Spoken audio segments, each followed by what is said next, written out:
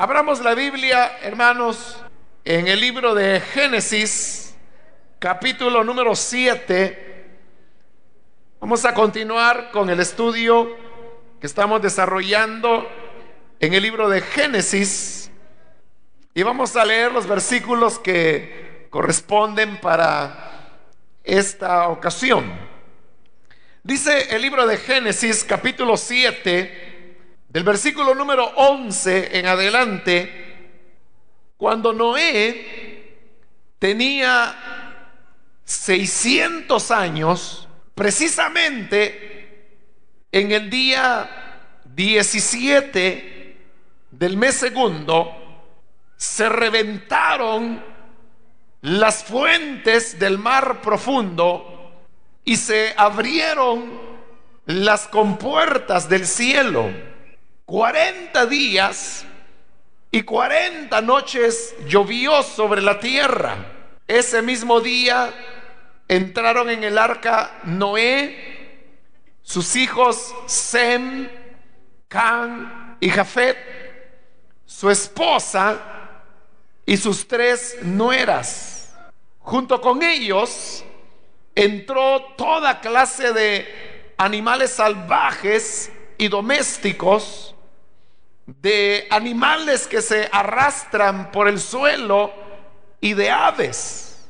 Así entraron en el arca con Noé parejas de todos los seres vivientes.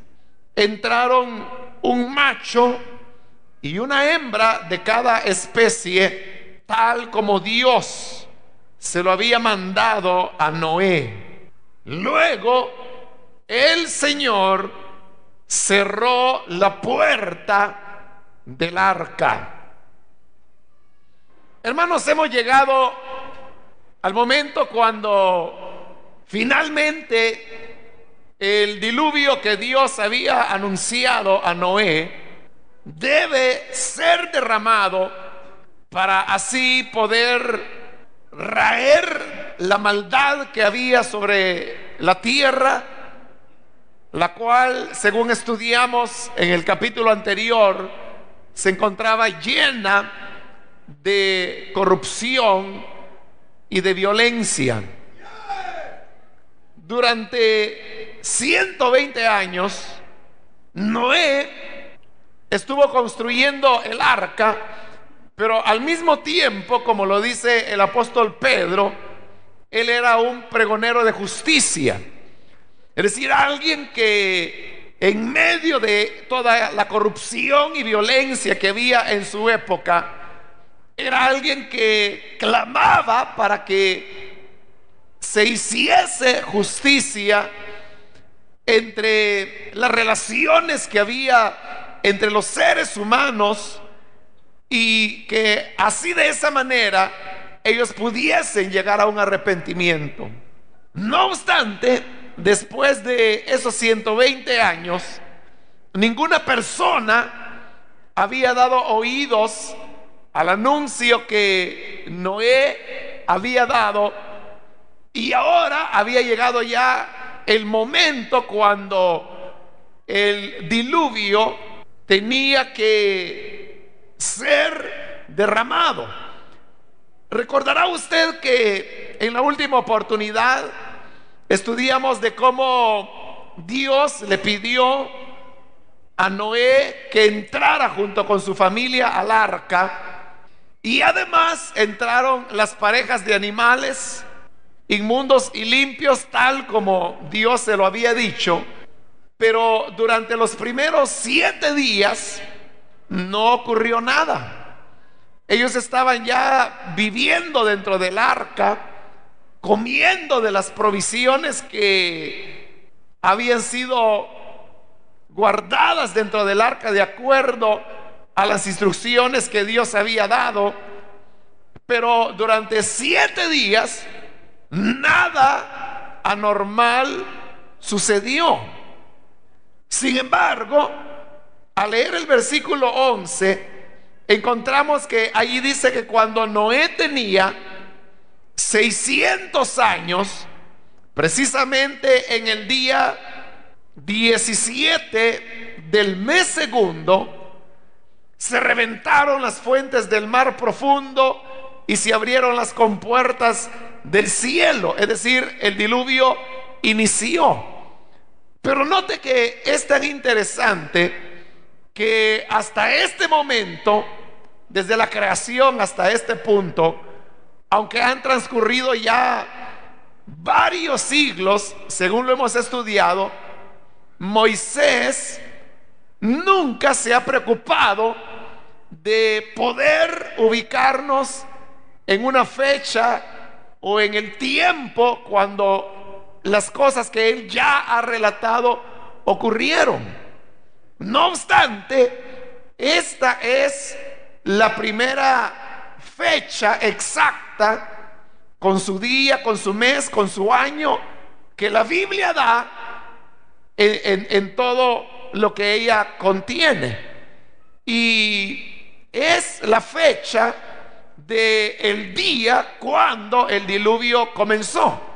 Eso significa que el diluvio es un acontecimiento histórico, porque muchos lo han tomado como que si fuera un relato mitológico, como una historia, como una leyenda de cómo los hombres imaginaron que Dios podía castigar el pecado y se inventaron la historia del diluvio.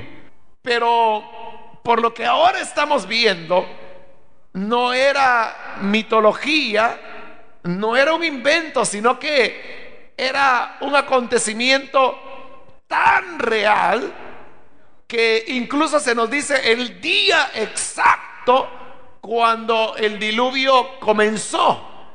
Y dice que fue en el año 600 de la edad de Moisés en el mes segundo y precisamente dice en el día 17. Es decir, que ahí se nos está dando el año, el mes y el día, cuando el diluvio comenzó, solamente faltó que se diera la hora, ¿no? Pero ese no era un dato muy importante, lo importante era que había una fecha exacta de cuando el diluvio comenzó. Por otro lado, Génesis no es el único libro que habla acerca del diluvio. El diluvio es mencionado en el libro de los Salmos, el diluvio es mencionado por los profetas, el diluvio fue mencionado varias veces por el Señor Jesús, el diluvio fue anunciado, o, no anunciado, sino que mencionado por los apóstoles, por Pablo, por Pedro, y cada vez que el libro de los salmos o que el Señor Jesús o que los apóstoles hablaban del diluvio, hablaban como de un hecho real, no como una historieta, no como una mitología, sino como un hecho concreto que se dio en este planeta, en esta tierra, en un momento histórico específico que acá en este versículo 11 se nos está diciendo cuándo fue que ocurrió. Ahora, obviamente, para los que se llaman hombres de ciencia, ellos niegan que haya ocurrido tal cosa como el diluvio, ya que ellos eh, tienen una serie de, conceptos y hay eh, una teoría que ellos lo toman como una ley de, de la física que enseña que dentro de un ambiente cerrado no pueden acontecer elementos que alteren el orden de las cosas que se dan dentro de ese sistema cerrado. Se lo estoy diciendo de la manera más sencilla que puedo, pero voy a tratar de simplificarlo un poco más. Lo que ellos quieren decir es, o lo que dice esa teoría que repito, ellos la han hecho ley, es que eh, en un sistema cerrado, como decir, por ejemplo, el planeta Tierra, porque e, es un sistema cerrado en el sentido que eh, tiene sus propias leyes por las cuales se rige, leyes como eh, leyes de la gravedad, leyes de la aerodinámica, de la hidrodinámica, de la termodinámica entonces, todas esas leyes rigen el planeta Tierra y por eso lo hacen ser un sistema cerrado. Ahora, al ser un sistema cerrado, la física enseña que no pueden producirse alteraciones porque precisamente se trata de un sistema cerrado que tiene sus propias leyes por las cuales se rige. No sé si le simplifiqué más o se lo compliqué más, pero lo voy a decir más sencillo todavía. Lo que esta ley dice, así en pocas palabras, es que en el planeta Tierra no puede ocurrir un cataclismo. O sea, algo que salga fuera del orden y que produzca un cambio profundo, como decir un diluvio, es algo que no puede ocurrir. De acuerdo a esa teoría, que repito, los científicos lo han hecho ley. Entonces, como se basan en esa ley, ellos dicen, jamás hubo un diluvio, porque las leyes, que repito, no son leyes, son teorías, pero ellos dicen, las leyes dicen que no se puede producir un cataclismo como el que las escrituras relatan acerca del el diluvio. No obstante, hermanos, hay, espero más adelante, que nos quede tiempo de poder hablar de las evidencias que hay en todo el planeta acerca de que el diluvio fue realmente universal y que fue como la Biblia dice que fue. Pero eso será en otra oportunidad, Dios mediante. Quiero decirle, no obstante, que hay en el planeta evidencias que en el pasado han ocurrido auténticos cataclismos que no pueden ser explicados por la ciencia moderna y no obstante la ciencia ha corroborado que tales cosas ocurrieron. Le voy a poner un ejemplo. Todo estaba bien con esa teoría del sistema cerrado, que no pueden haber cataclismos ni alteraciones dramáticas dentro de un sistema cerrado. Pero sucedió hace ya varias décadas que en el Ártico, es decir, en, el Polo Norte sobre todo, se, al excavar en el hielo, comenzaron a encontrar cuerpos de mamuts. Los mamuts eran eh, muy parecidos a los elefantes, solo que mucho más grandes, cubiertos totalmente de pelos y se les considera animales que pertenecieron a lo que los científicos llaman la prehistoria.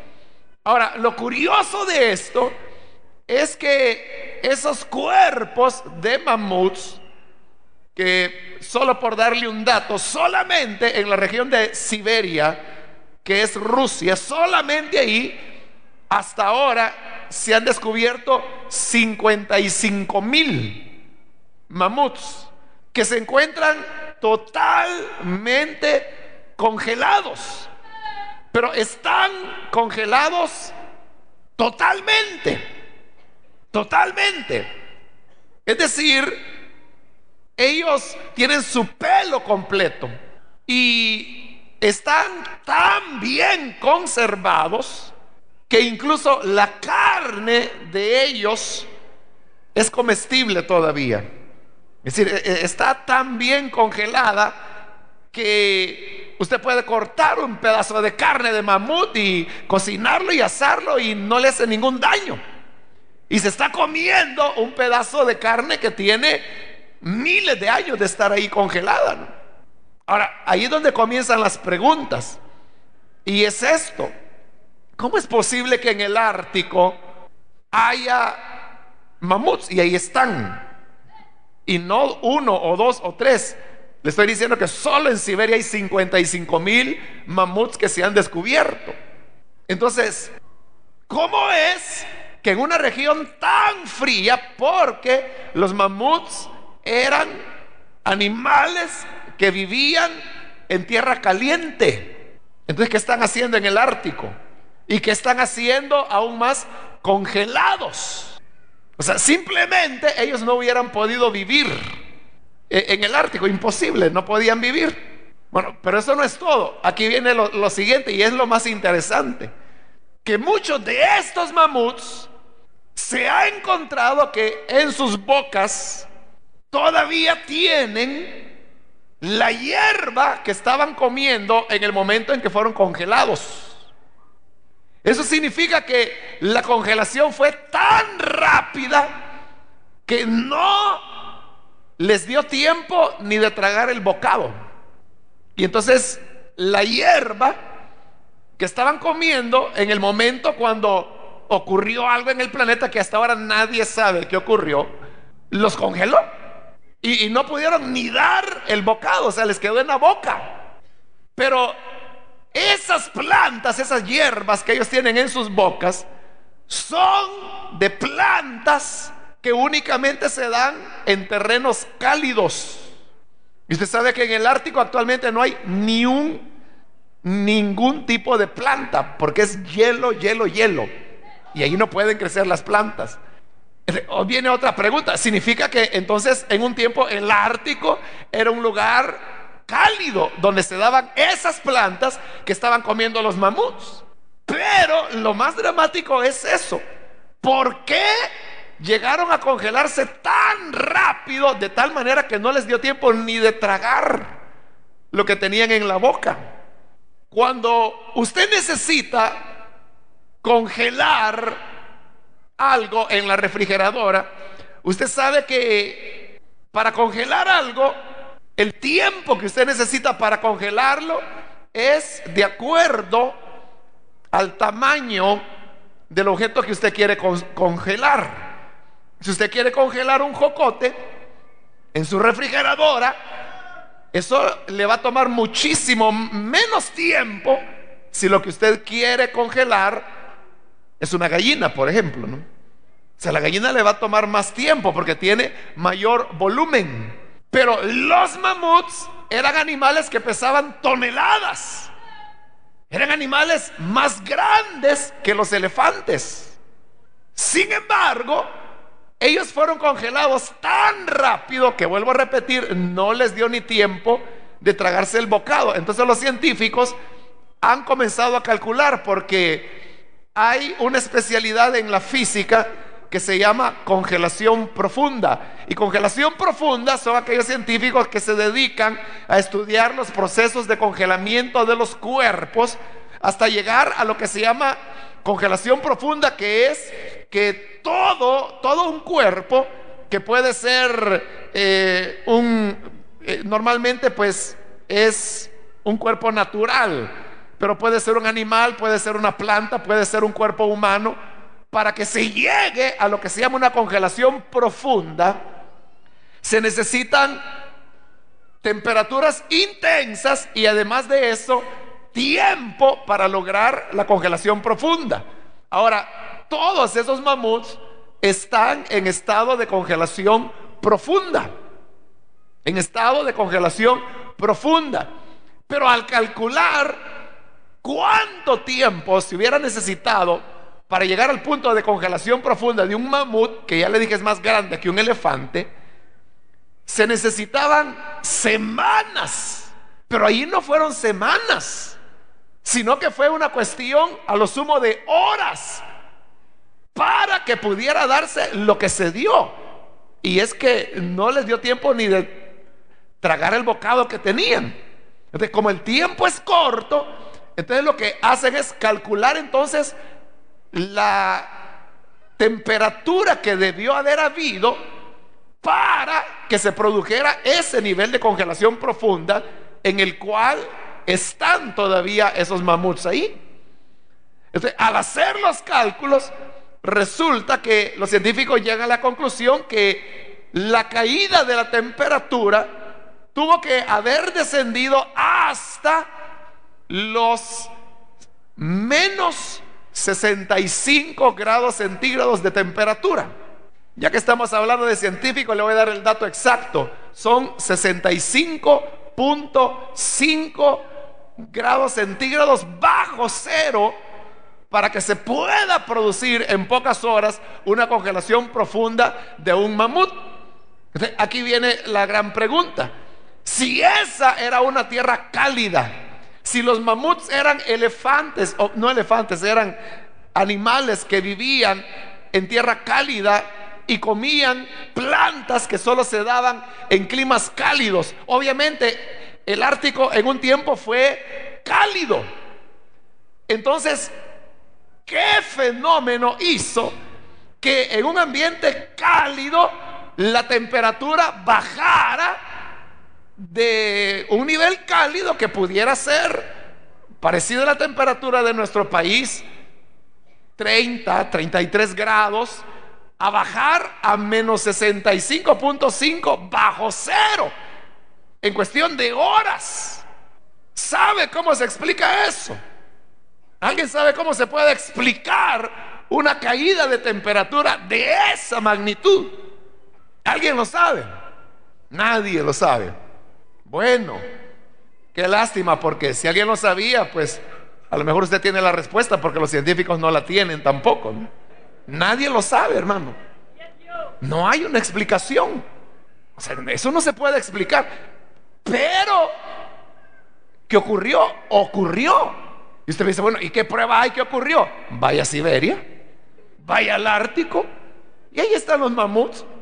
Algunos de ellos, bueno, no tiene que ir tan lejos, algunos de ellos eh, los han logrado eh, desenterrar totalmente y los han llevado a diferentes museos en el mundo. En los Estados Unidos entiendo, creo que es en, la, el Museo de Historia Natural de Nueva York, si no estoy mal, creo que hay uno allí que lo disecaron. O sea, porque como es como sacar algo del refrigerador, ¿no? Entonces tuvieron que sacarle todo y disecarlo, pero ese ejemplar que está, repito, si no me equivoco, en Nueva York, es uno de los ejemplares que tiene la hierba todavía en la boca. eso ocurrió, o sea que ocurrió, ocurrió. Pero ¿cuál es el punto al que yo quiero llegar? El punto al que quiero llegar es al siguiente, que ese fenómeno, de acuerdo a la ley del sistema cerrado, no debió haber ocurrido. No debió haber ocurrido, porque rompe esa ley. Y sin embargo ocurrió. Ocurrió. ¿De qué significa eso? Que la ley del sistema cerrado no es cierta. Porque pueden darse fenómenos como ese. si se dio ese del congelamiento súbito de tierras que eran cálidas y de repente se vuelve el Ártico, sin que haya una explicación, hasta hoy en día, aunque más adelante cuando avancemos en este tema del diluvio, yo le voy a aventurar una teoría por ahí que no es mía, por supuesto, sino que es de un científico que él es cristiano y, él trata pues de dar una explicación de por qué ocurrió ese congelamiento de los mamuts y lo pone posterior al diluvio. Por eso cuando pasemos del diluvio vamos a hablar un poquito de ese tema. Pero si ocurrió entonces ya una alteración dentro de un sistema cerrado, significa entonces que el diluvio también pudo haberse dado dentro de un sistema cerrado. Porque la tal ley del sistema cerrado no es ley. O sea, porque hay demostración. Y ningún científico le va a negar de esos mamuts. Nadie se lo va a negar. Y el que se lo niega está loco. O es un ignorante. O es ya una persona que tiene decididamente mala intención, ¿no? Pero si se entiende como científica, una persona que se apega a los hechos tendrá que reconocer que aún en un sistema cerrado como es el planeta Tierra, pueden ocurrir cataclismos y por lo tanto existió el congelamiento de los mamuts, pero también ocurrió el diluvio, pero también ocurrirá la destrucción que se describe en la carta de Pedro cuando dice que los elementos ardiendos serán desechos para dar paso a la nueva tierra y al nuevo cielo que Dios creará. Amén. Bueno, aquí termina la clase de física. Y ahora seguimos con el, relato de la Biblia. Arranca, hermano, el diluvio.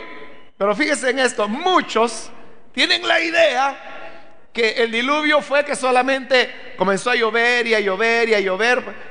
Por 40 días y 40 noches, dice ahí, lo acabamos de leer. Entonces dicen, llovió, llovió, llovió, llovió. Y para estos días del Stan y de... ¿Cuál era el otro que pasó por aquí, no? E, estas lluvias, este, la gente decía, mire, pues en tres días, en cuatro días, todo lo que ocurre. Y en el diluvio, que fueron 40 días, ¿cómo no habrá sido?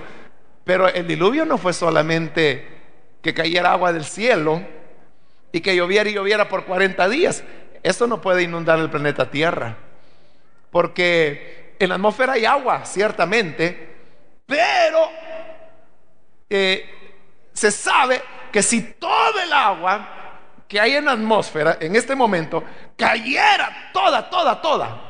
O sea que nunca ocurre eso, ¿no? Pero si alguna vez ocurriera y todo el agua que hay en la atmósfera cayera en la tierra, ¿sabe qué profundidad se alcanzaría? 5 centímetros. 5 centímetros. Es decir, si usted anda con zapatos ya no se ahogó. Sí, porque 5 centímetros es así. Si todo el agua que está en la atmósfera cayera sobre la tierra, entonces ahí algo diferente ocurrió. Y si uno es cuidadoso en leer la Biblia, el problema, hermano, es de que, como sobre el tema del diluvio, usted sabe que hay muchas historias, películas, cancioncitas y una canción de niños, que no me acuerdo cómo dice, pero hay una parte que dice, y llovió, llovió, llovió, y llovió, y llovió, llovió.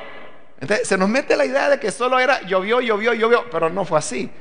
Dice el versículo 11 que estamos leyendo, Fíjese que en primer lugar no pone la llovida, sino que dice, se reventaron las fuentes del mar profundo. O sea que hubo dos grandes vertientes de agua. Y la que pone en primer lugar, dice que son las fuentes del mar profundo, las que se reventaron. ¿De qué está hablando ahí? Está hablando de todas las aguas subterráneas que hay.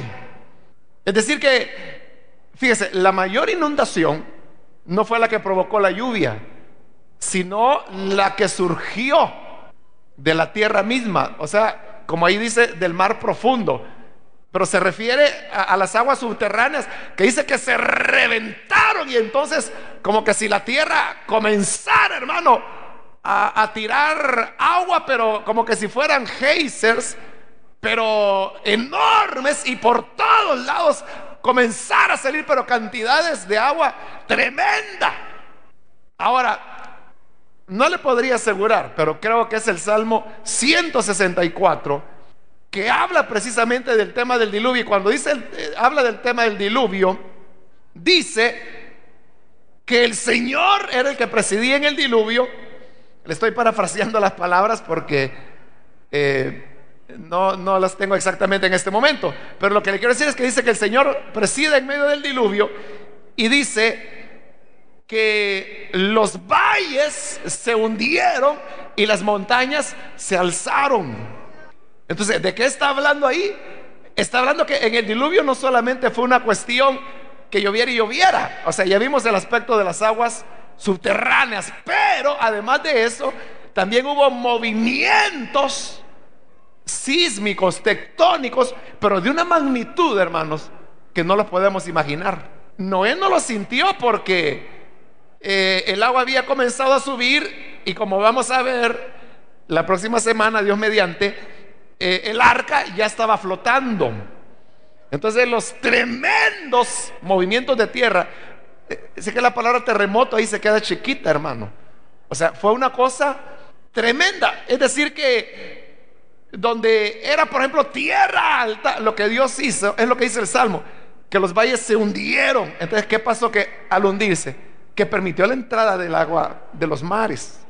Y hubo tales movimientos de las capas de tierra que fueron creando lo que hoy son los océanos. Yo creo que usted ha escuchado en alguna ocasión que los científicos dicen que, bueno, y es un hecho comprobado, que los continentes se van alejando. Por ejemplo, Europa se está alejando de, América. Eh, ah, no recuerdo ahorita el dato exacto, pero es algo así como que cada año, creo que es un centímetro, que un centímetro creo que es que, se aleja Europa de América. Así que, que si va a ir a Europa, vaya rápido antes de que se vaya a alejar más, ¿no? Sí, pero es una cosa pues tan insignificante que van a pasar pues, imagínense, en 100 años apenas se habrá alejado un metro, ¿no?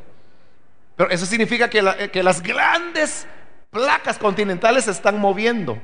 Entonces hay una teoría, que no es tan teoría, de que en un momento todo lo que era tierra era una sola placa, pero luego se desprendió y comenzaron a separarse.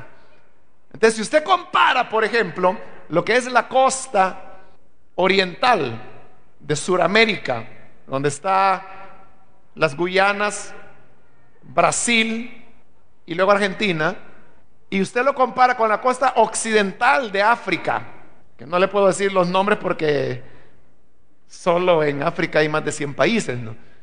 Entonces, pero si usted los compara, es como que si fueran dos piezas de un rompecabezas que la una casa con la otra eso hace pensar los científicos que en alguna ocasión eso estuvo unido. Pero en base a lo que hoy estamos hablando, significa que eso se abrió para que el agua subiera. Pero mire cuánta agua subió, que lo que hoy tenemos ahí es el océano Atlántico, ¿no? Es todo un océano. Eso quedó sepultado de agua y todavía está bajo agua. Usted sabe cómo se forma el petróleo. El petróleo se forma por bosques que hubieron hace miles de años, que quedan enterrados bajo tierra, y entonces la presión de la tierra hace que la materia orgánica se convierta en petróleo.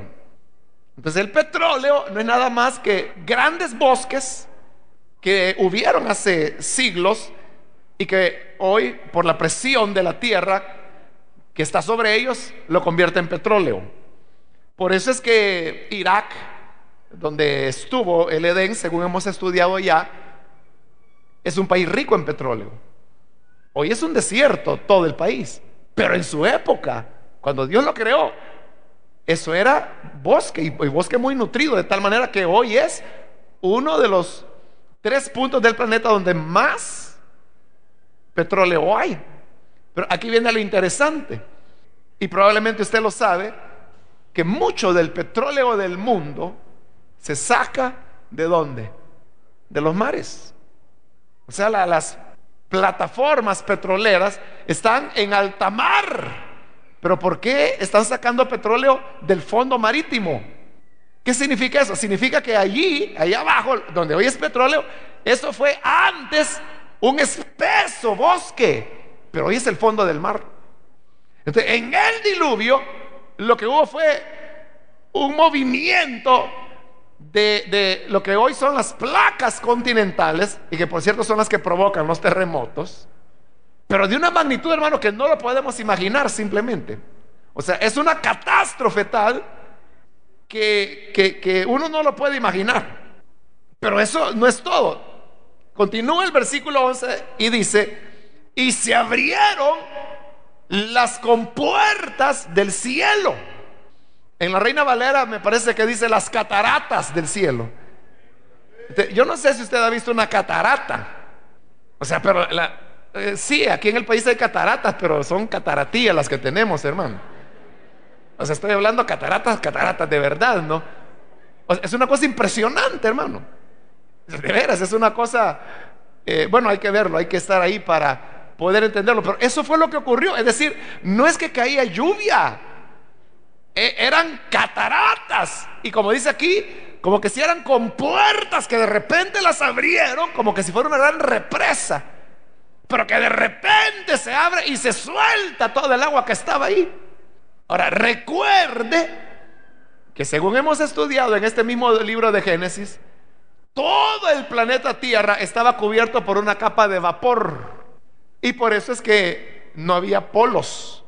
O sea, no había polo norte, no había polo sur, no había hielo. Todo era cálido en el planeta. Por eso es que habían mamuts en el Ártico. Porque esa capa de vapor hacía que la Tierra tuviera una temperatura uniforme. Entonces, no estamos hablando de una atmósfera igual a la que tenemos ahora, sino que de cantidades. Acuérdese, volvamos al relato de Génesis, en el capítulo 1, cuando dice, y separó Dios las aguas de arriba de las aguas de abajo. Eso significa que antes del diluvio, las aguas que hay en el planeta estaban divididas en dos partes. La mitad estaba arriba, que era la atmósfera, pero no la atmósfera como la conocemos ahora, sino esa atmósfera que producía una cobertura de vapor que hacía que hubiera un clima estable en todo el planeta cálido. No habían estaciones, solo había una estación y se llamaba la buena estación. Y eso era lo que le permitía a los hombres vivir, como lo hemos estudiado, 700, 800, 900 años, o como en el caso de Matusalén, 969 años. Porque los rayos ultravioleta que despide el sol y que son mortales, no llegaban hasta los seres vivientes que había en la tierra. Pero toda esa agua que estaba en forma de capa de vapor, es la que ahora se está derramando. Y por eso es que esos 40 días, hermano, fueron espantosos. O sea, era una catástrofe inimaginable. O sea, simplemente no lo podemos imaginar. O sea, ahí se dieron terremotos, maremotos, se dieron rompimientos de aguas subterráneas, movimientos de placas tectónicas, porciones inmensas de tierra que se hundieron para dar paso a la entrada de los mares. Hubo separación de placas continentales para que lo que quedaba en medio se hundiera y hasta hoy en día sigue siendo el fondo del mar Pacífico, del mar Atlántico, del mar Caribe, del mar Índico, del mar Rojo y de todo lo que los mares que hay hoy en día. Y todo ese conjunto de elementos es lo que tiene una duración de 40 días, en el versículo 12, 40 días y 40 noches llovió sobre la tierra. Versículo 13, ese mismo día entraron en el arca Noé, sus hijos Sem, Can y Jafet, su esposa y sus tres nueras. ¿Cuántas nueras tenía Noé? ¿Y cuántos hijos tenía Noé? Entonces, ¿cuántas mujeres tiene que tener cada hombre? Exacto.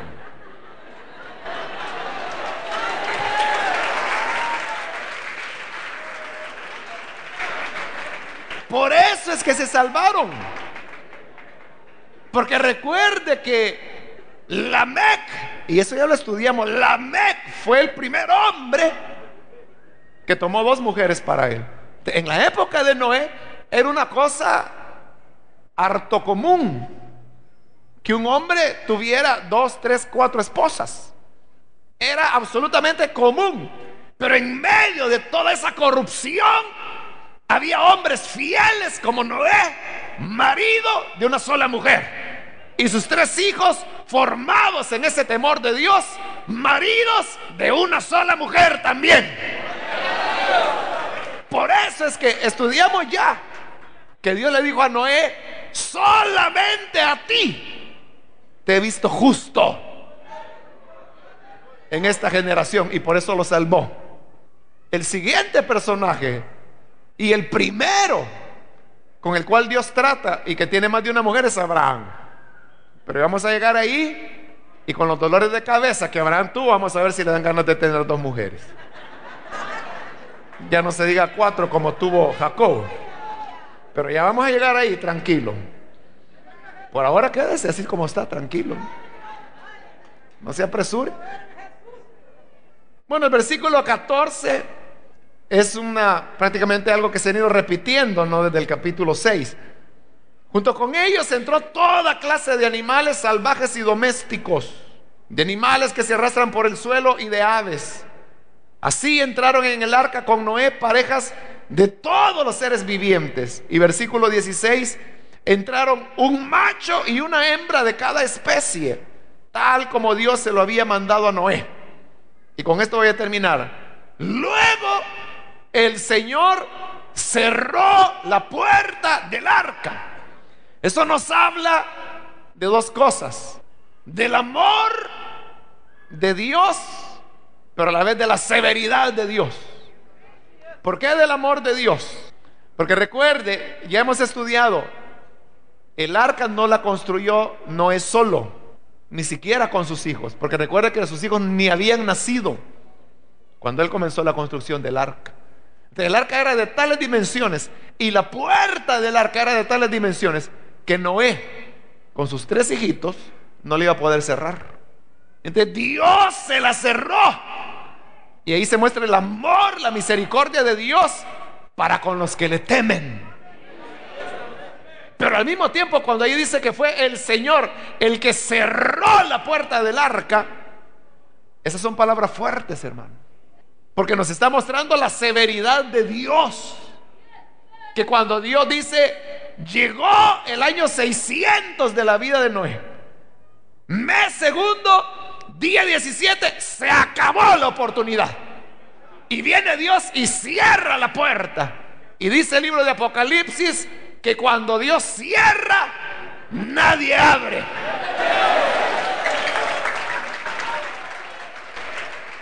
...120 años había esperado la paciencia de Dios por el arrepentimiento de los seres humanos. Y no hubo nadie que se arrepintiera. De igual manera, Dios ha señalado un día, como dice Pedro, en el cual esta tierra y todas las obras que hay en ella serán quemadas, dice Pedro. Y los elementos ardiendo serán desechos. Y yo quiero decirle, hay una fecha cuando eso ocurrirá, con su año, con su mes, con su día. ¿Quiere que se la diga?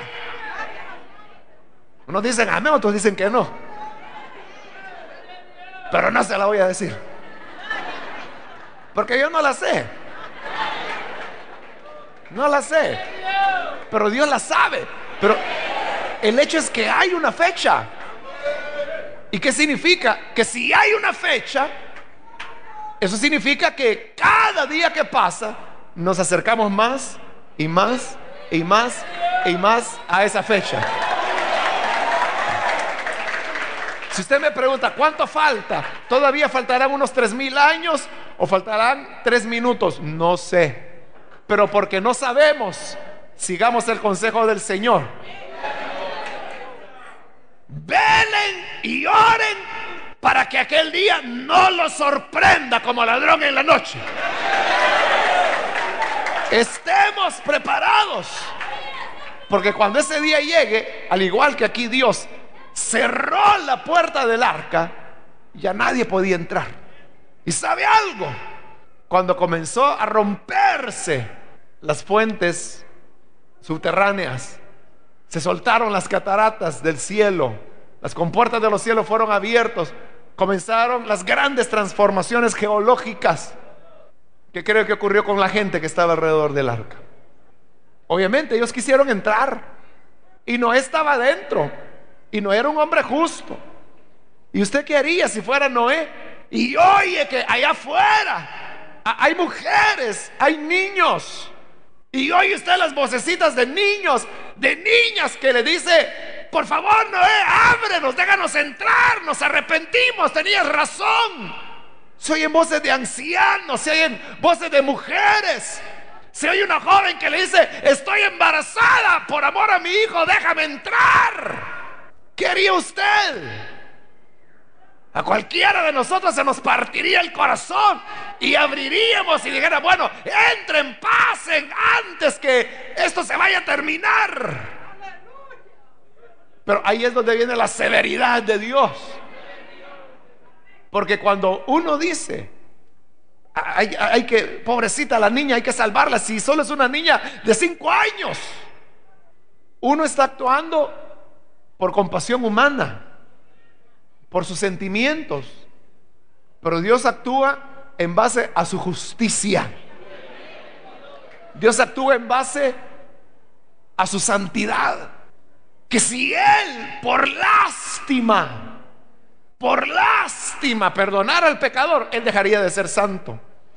Y al dejar de ser santo, dejaría de ser Dios. Y al no haber Dios, se acabó todo, hermano. Se acabó el universo. Entonces, por eso Dios cerró la puerta para que el sentimentalismo de Noé no la abriera. Y no la podía abrir porque Dios la había cerrado. Y ya le dije, cuando Dios cierra, nadie abre.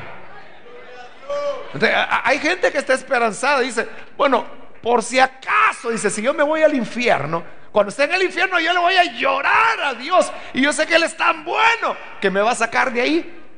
Así que Dios no se mueve en base a sentimientos. Dios se, va, se mueve en base a principios. Y si usted dice, si es que Dios es amor, claro que es amor. Y es tan amor que por eso envió a su Hijo para que muriera en la cruz y que todo aquel que en Él crea no se pierda, mas tenga la vida eterna. Pero el que desprecia al Hijo de Dios, el que tiene en poco al Hijo de Dios, Dios le ve de lejos también. Entonces el momento de pedir misericordia no es cuando uno ya va cayendo a las llamas del infierno y que yo le voy a llorar a Dios. Y mire, yo hago unos teatros que mi mamá siempre me da dinero cuando le pego una llorada. ¿Cuánto más no voy a mover a Dios? No lo moverás. Porque cuando Dios cierra, nadie abre. Y cuando se cierre la puerta de oportunidad para salvación, nadie, nadie podrá entrar.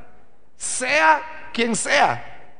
Que mi papá fue diácono, que mi mamá era la coordinadora de diaconisas. No, si mire, mi mamá desde 1980 eh, es de Salacuna. Pues tu mamá estará adentro, pero tú fuera. Porque es una cuestión personal delante de Dios. La buena nueva es que hoy, hoy, este día y en esta hora, la siguiente no le puedo asegurar nada, pero en este momento, en esta hora justa, la puerta de oportunidad está abierta. Aprovechala y sé salvo ahora. Entra en el arca de salvación. Que hoy, hoy es el Señor Jesucristo. Vamos a orar, vamos a cerrar nuestros ojos.